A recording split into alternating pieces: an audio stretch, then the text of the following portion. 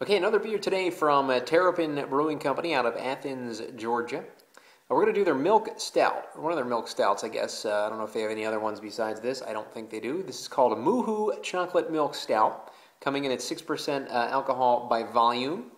Uh, beer Advocate uh, popular list of popular beers in this style, number 49. So we've done Left Hand, we've done Lancaster, and the one thing that I think about milk stouts, they tend to all kind of taste very similar to each other. I haven't had a milk stout yet that's really, really blown me away. Um, yet to have it. Not saying it doesn't exist, but just have yet to have a milk stout that has really blown me away. This uh, chocolate milk stout uses cocoa nibs and shells from Olive and Sinclair Chocolate Company. Uh, and as I mentioned, uh, 49th most popular on uh, Beer Advocate. Uh, Terrapin um, always has very, very interesting uh, label art. Uh, as you can see, there's a Terrapin dressed up as a uh, looks like a uh, looks like a cow. So there you go. Uh, the Terrapin Moo-Hoo Chocolate Milk Stout proudly uses cocoa nibs and shells from Olive and Sinclair Chocolate Company to give this beer a chocolatey great taste. Exactly what I uh, basically said earlier. That's what the bottle says. Enjoy it till the cows come home. And it also has the website for Olive and Sinclair. That's oliveandsinclair.com if you want to check out the chocolate that is being used in the brewing process of this milk stout poured into a goblet uh, or a chalice, St. Bernardus chalice, and we'll see that very, very dark pour that we usually get from uh, the milk stouts. Not quite the motor oil pour, well, maybe close to the motor oil pour that you get from Russian Imperials or double stouts.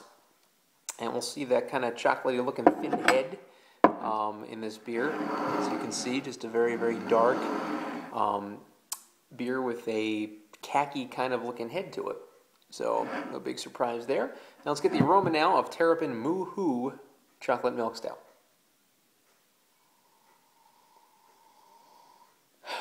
Definitely getting uh, the scent of chocolate, which I'd be a little worried if uh, I did not. Um, almost getting a, a, black chocolate stout kind of uh, smells of this beer.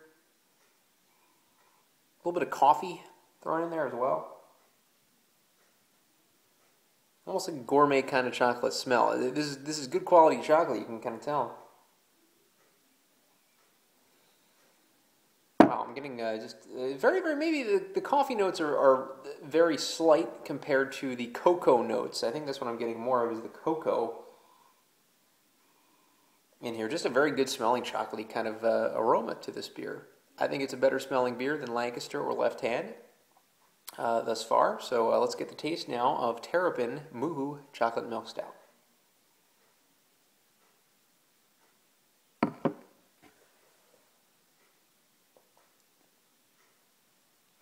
Classic, classic milk stout with a, a, a, tinge of chocolate, almost just a regular American stoutish kind of uh, taste to it.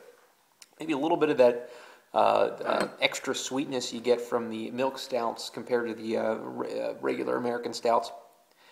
And definitely getting that cocoa powdery kind of taste, almost like a powder feeling on the tongue uh, as I taste this.